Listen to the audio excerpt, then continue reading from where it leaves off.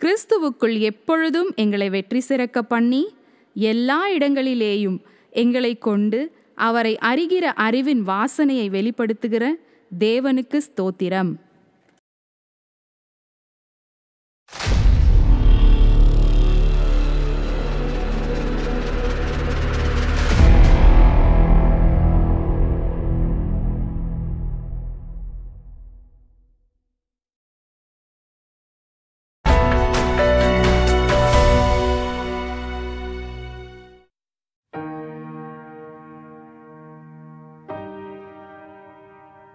கர்த்தருடைய பரிசுத்த நல்ல நாமம் மகிமைப்படுவதாக. இந்த மாதமும் வாக்குத்தத்த செய்தியின் மூலம் உங்கள் அனைவரையும் சந்திப்பதில் கர்த்தருக்குள் மிகுந்த மகிழ்ச்சி அடைகிறேன். கடந்த பத்து மாதங்களும் நம்மை கண்ணின் மணியைப் போல பாதுகாத்து இந்த பதினோராம் மாதத்தை காண செய்த தேவனுக்கு நாம் எப்பொழுதும் நன்றியுள்ளவர்களாக இருப்போமாக. இந்த பதினோராம் மாதம் ஆண்டவர் நமக்கு கொடுக்கிற வாக்குத்தத்தமான வசனத்தை நாம் சற்று தியானிக்கலாம். லூக்கா எட்டாம் அதிகாரம் ஐம்பதாம் வசனத்தை வாசிக்கிற போது பயப்படாதே விசுவாசம் உள்ளவனா இரு என்று ஆண்டவராகிய இயேசு கிறிஸ்து சொல்லுகிறதை இந்த இடத்திலே நாம் வாசிக்க முடிகிறது. ஆம் பிரியமானவர்களே இந்த மாதம் கர்த்தர் நம் அனைவருக்கும் கொடுக்கிற வாக்கு தத்தம் எனக்கு அன்பான மகனே எனக்கு அன்பான மகளே நீ பயப்படாதே.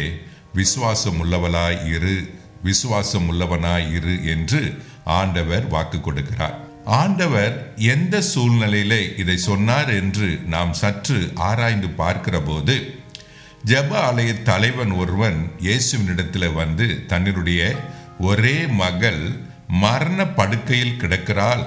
அவளை நீ சுகமாக்க என்னுடைய வீட்டுக்கு வர வேண்டும் என்று அழைத்து கொண்டு போகிறான். இயேசுவும் அவன் வீட்டுக்கு போகிறார். இந்த இடப்பட்ட நேரத்திலே பனிரெண்டு வருஷம் பெரும்பாடுள்ள ஒரு ஸ்திரீ அநேக வைத்தியர்களினால் வருத்தப்பட்டு இயேசுவின் வஸ்திரத்தின் ஓரத்தை தொட்டாயிலும் எனக்கு சுகம் கிடைக்காதா? என்று இயேசுவின் வஸ்திரத்தின் ஓரத்தை தொட்டு அவள் சுகத்தை பெற்றுக்கொள்கிறாள். ஆனால் ஆண்டவராக இயேசு கிறிஸ்துவோ என்னை தொட்டது யார் என்று அவர் அங்கே கேட்கிறார். இதை கேட்டதான சீசர்கள் என்ன ஆண்டவரே ஏராளமான ஜனங்கள் உம்மை நெருக்கி கொண்டு வருகிற போது என்னை தொட்டது யார் என்று நீர் எப்படி கேட்கலாம் என்று சீசர்கள் இயேசுவை பார்த்து கேட்டபோது ஆண்டவர் சொன்னார் இல்லை என்னை ஒருவர் தொட்டது உண்டு. என்னிடத்தில் இருந்து வல்லமை புறப்பட்டு போனது என்று சொன்ன உடனே அந்த ஸ்திரீ இயேசுவின் பாதத்தில் விழுந்து எதற்காக உம்மை தொட்டதையும் தாம் சுகம் பெற்றதையும் அந்த இடத்திலே அவள் சொல்லுகிறார். இந்த காரியங்கள் அங்கே நடைபெற்று கொண்டு இருக்கிற போதுதானே ஜப ஆலய தலைவனுடைய வீட்டிலிருந்து ஒரு மனிதன் ஓடி வந்து ஜப ஆலய தலைவனிடத்தில் சொல்லுகிறான் இனி போதகரை நீ அழைக்க வேண்டாம். இனி போதகரை நீர் வருத்தப்படுத்த வேண்டாம். உன்னுடைய மகள் மறித்து போனாள் என்று. இதை கேட்டதான ஜப ஆலய தலைவனுடைய உள்ளம் உடைந்து போகிறது. கலங்கி நிற்கிறான். அந்த நேரத்தில் தானே ஆண்டவராக இயேசு கிறிஸ்து அவனை பார்த்து சொல்லுகிறார் பயப்படாதே விசுவாசம் உள்ளவனா இரு என்று சொல்லி. அடுத்து நடந்தது என்ன என்று சொன்னால் இயேசு அவன் வீட்டுக்கு சென்று மறித்து போன அந்த மகளை உயிரோடு கூட எழுப்பினார் என்று நாம் பார்க்கிறோம். எனக்கு அன்பான தேவ ஜனமே உங்களுடைய வாழ்க்கையில கூட பலவிதமான சூழ்நிலைகள் நிமித்தம் தேவன் மீது வைத்த விசுவாசத்தை நீங்கள் இழந்தவர்களாக இனி ஜெபம் பண்ணி என்ன பிரயோஜனம்? இனி ஆண்டவரிடத்தில் தெரியப்படுத்தி என்ன நடக்கப் போகிறது? இனி அவரிடத்தில் சொல்லி ஒன்றும் ஆகப் போகிறது இல்லை என்கிறதான ஒரு வேதனையான முடிவுக்கு ஒரு வேளை நீங்கள் வந்திருக்கலாம். ஆனால் இன்றைக்கு ஆண்டவர் உங்களை பார்த்துதான் சொல்லுகிறார். இந்த சூழ்நிலையில நீ பயப்படாதே. விசுவாசம் உள்ளவனாயிரு என்று சொல்லி எனக்கு அன்பான தேவ ஜனமே உங்களை சுற்றிலும் எது நடந்தாலும் எது உங்களை விட்டு போயிருந்தாலும் எதை நீங்கள் இழந்திருந்தாலும் ஆண்டவர் உங்களை பார்த்து சொல்லுகிறார் இவைகளின் நடுவிலே என் மீது நீ விசுவாசம் உள்ளவளாயிரு பயப்படாதே அவைகள் எல்லாவற்றையும் ஆண்டவர் உங்களுக்கு கொடுத்து உங்களை அவர் சாட்சியாய் நிறுத்த அவர் உண்மையுள்ள தேவனாய் இருக்கிறார் அது மாத்திரமல்ல இரண்டாவதாக ஒன்று ராஜாக்கள் பதினேழாம் அதிகாரம் பதிமூன்றாம் வசனத்தை நாம் பார்க்கிற போது எலியா பயப்படாதே என்று சொல்லி சாரிபாத் என்று சொல்லக்கூடிய ஒரு விதவையை பார்த்து சொல்லுகிறதை அந்த இடத்திலே நாம் பார்க்கிறோம். அந்த சம்பவம் என்ன என்று சொல்லி பார்க்கிற போது எலியா அந்த சாரிபாத் விதவினிடத்திலே குடிக்க எனக்கு கொஞ்சம் தண்ணீர் கொடு என்று கேட்கிறான். உடனே அவள் தண்ணீர் கொடுக்கும்படியாக வீட்டுக்குள் போகிற போது மீண்டும் அவளை அழைத்து எனக்கு ஒரு சிறிய அப்பம் சுட்டு எடுத்துட்டு வா என்று சொன்ன உடனே அவள் மனதில் இருந்த எல்லா வேதனைகளையும் எலியாவினிடத்திலே சொல்லுகிறாள். ஐயா எங்களுக்கு இருக்கிற அந்த கொஞ்சம் எண்ணெயும் ஒருபடி மாவை தவிர எங்களிடத்தில் ஒன்றும் இல்லை. ஆகவே அவைகளை சுட்டு சாப்பிட்டு நானும் என்னுடைய மகனும் சாகும்படியாக இரண்டு விறகுகளை இந்த இடத்துல நாங்கள் பொறுக்கி கொண்டு இருக்கிறோம் என்று சொல்லுகிறதை அந்த இடத்துல நாம் பார்க்கிறோம். இதை கேட்ட எலியாதான் சொல்லுகிறான் நீ பயப்படாதே நீ போய் உன்னுடைய வார்த்தையின்படியை செய். ஆனாலும் எனக்கு சிறிய அடை செய்து எனக்கு கொண்டு வந்து கொடு என்று சொன்ன உடனே அவள் அதை கீழ்ப்படிந்து செய்கிறாள். நடந்தது என்ன என்று சொன்னால் அவளுடைய பஞ்ச காலம் வரைக்கும் அவள் வீட்டிலே அப்பமும் எண்ணெயும் குறையவில்லை என்று சொல்லி நாம் பார்க்கிறோம். எனக்கு அன்பான தேவஜனமே இந்த நாளிலே கூட ஒருவேளை எழுத்தின்படியே நீங்கள் ஒரு விதவையாய் காணப்படலாம். இன்றைக்கு அநேகருடைய வாழ்க்கையில கணவன் இருந்தும் ஒரு விதவையைப் போல நான் ஒருவலாய் இந்த பாரத்தை சுமக்கிறேனே.